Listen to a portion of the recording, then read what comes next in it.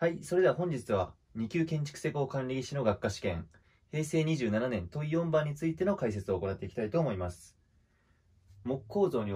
木構造における接合金物とその用途の組み合わせとして最も不適当なものはどれかという問題です。これはですね結論暗記ですね。木造住宅とかをやっている方に関してはまサービス問題だと思うんですけどもちょっとこれは解説するまでもないんですけどもあのまちょっとサクッと、えー終わらせていきたいと思います。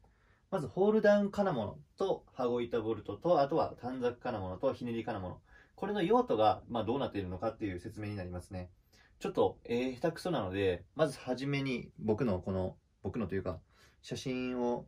スクショしたやつを見てもらいたいんですけどまず、えーこれがホールダウンですね。これがホールダウン金物1番そして2番のこれが、えー、羽子板ボルトですね。突き刺さっているもの。これが羽子板ボルト。で、これが、えー短冊金物ですね。そしてこれが、えーひねり金物です。これが、えー一応問題になってるんですけども、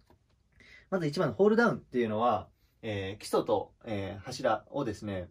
えー連結させるものをホールダウンと言います。まあ、1番はこの通りになっております。そして2番、羽子板ボルト。これは、えー針とか柱とか、乃木桁乃木桁とかを、まあ、こうやってぶっ刺して貫いて、えー取り付ける金物のことを言います。で、今回、柱と筋交いの接合と書いているんですけども、柱と筋交いの接合ではありません。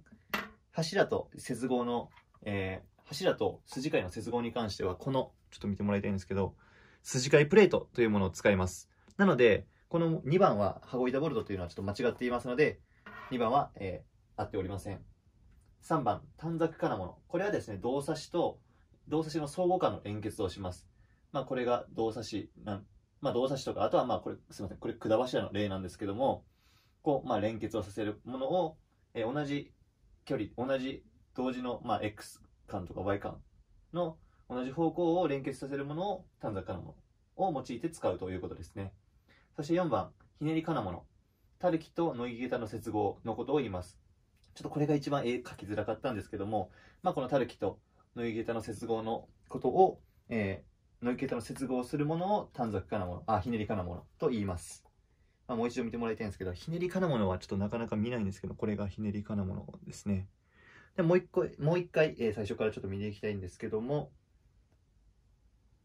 えっ、と、これがホールダウン。これがホールダウンで、これが、このぶっ刺しているのが羽子板ボルト。今回ちょっと間違っているものですね。筋交いとの接合って書いてあるので。